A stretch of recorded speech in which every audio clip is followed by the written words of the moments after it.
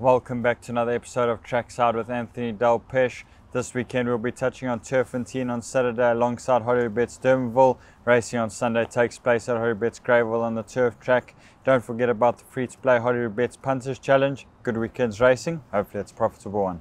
We start off at Turffontein on Saturday in race 2 and my best bet comes in the form of number 9 Princess Lola from the Roy Magner stable. Muzi Yeni in the saddle showed good improvements in her last start over 1200 meters at the Vaal. She'll love the step up to 1450 meters and from a good draw of 4 she should be the one to beat. Move on to race 3 and Anthony's best bet is number 6 Champagne Cocktail from the Mike Cox stable. JP van der Merwe in the saddle she was super impressive when winning on debut over 1700 meters and uh, she looks to be special. Yeah, she does look a bit special. She did beat the weak Company when she won, but I think in the manner that she did it, she shows you that she has got ability. And um, for first time around the turn, she really handled it very, very, very well. I know she stepped up uh, with the company, much stronger company, but I do believe uh, she's a way above average filly. Hollywoodbets Durbanville is alongside Turffontein on Saturday. We'll start in race one where the Hollywood Syndicate is represented by number five, Etu from the Candice Bass Robinson stable. Aldo Domeyer in the saddle. He showed very good improvements in his last start over this course and distance. Has been gelded since. And uh, how's he taken the gelding?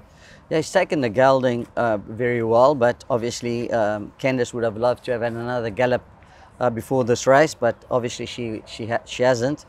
Uh, so she's not 100%. Uh, he's not 100% tuned up to the, uh, but he's doing very well at home, and uh, he is a, a, a, nice horse, but uh, not overconfident because of his preparation. He's drawn nicely, and he's doing quite nicely at home after his gelding.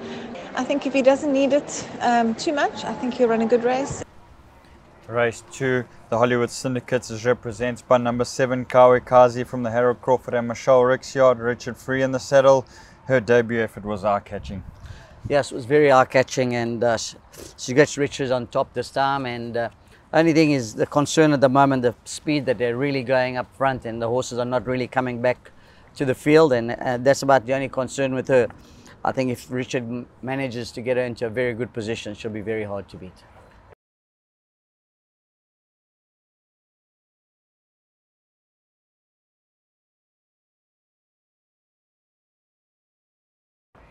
In race three, my best bet on the card is number nine, Call to Unite from the Justin Snaith stable. Grant van Niekerk in the saddle.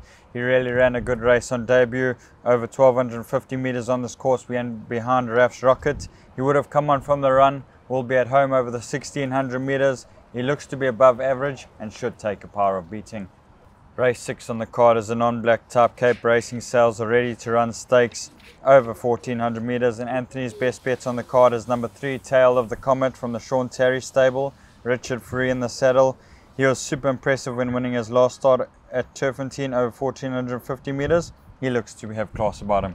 Yeah, I think he's a real smart horse and uh, I think he's way too, too good for the company that he's taking on at the